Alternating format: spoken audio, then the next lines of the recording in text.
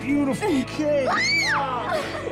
Dad, are you sure you can't come to the beach with us? Dad needs to stay here and do some work. Bye, guys.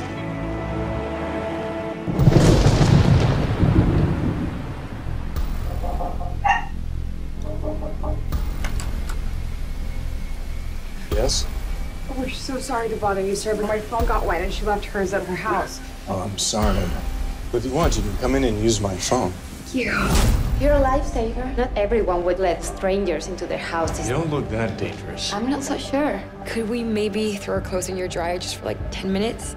Sure. How long have you and your wife been together? 14 years. Being with one person your whole life is going against nature. Well, when you love someone. Come on, Evan. Buckle your seatbelts. We may be encountering some turbulence. Guys, I have your clothes. They're pretty much dry. Surprise! Oh, stop, stop, stop. I can't do this. I'm married. Yes, you can.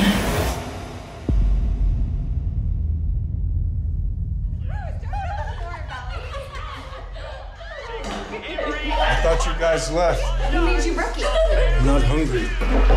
We can forget this happened. I made a mistake. Go! I'm calling the police.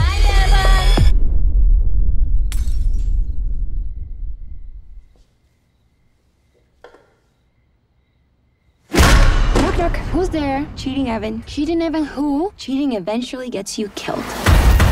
You've been a bad boy. Your family are victims of your perverted behavior. This is what happens when you break the rules, Evan. We have to punish you. I want to play hide and seek. Evan.